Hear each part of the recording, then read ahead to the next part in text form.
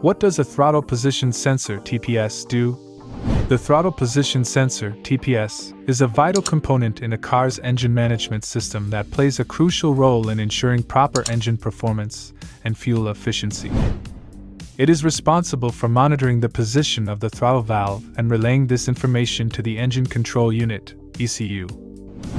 In this video, we will delve into the functions of the throttle position sensor, its significance in the operation of a vehicle, and how it affects engine performance.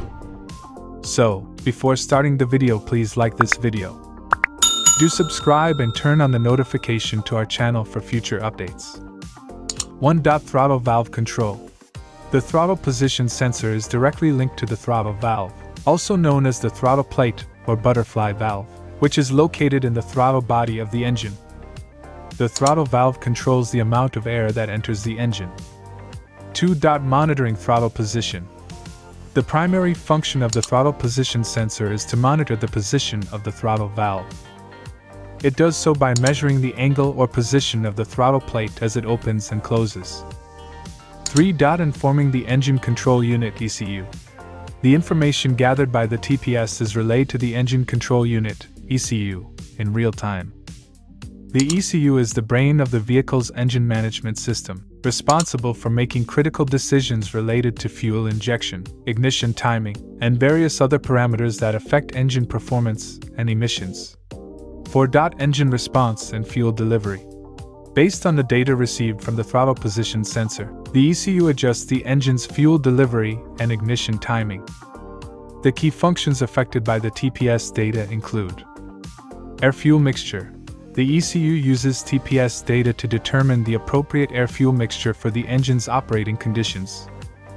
When the throttle is opened wide, as in acceleration, more fuel is injected to match the increased airflow. Conversely, when the throttle is closed, during deceleration or idling, fuel injection is reduced to maintain fuel efficiency. Engine load The TPS helps the ECU calculate the engine's load. This information is crucial for optimizing performance and efficiency. For instance, a wide open throttle indicates high engine load, which may prompt the ECU to downshift for more power. 5. Improved performance and efficiency. The throttle position sensor significantly contributes to improved engine performance and fuel efficiency. Here's how Responsiveness The TPS enables rapid and precise throttle response. When you press the accelerator pedal, the TPS data allows the ECU to react quickly, delivering the right amount of fuel and air for optimal acceleration.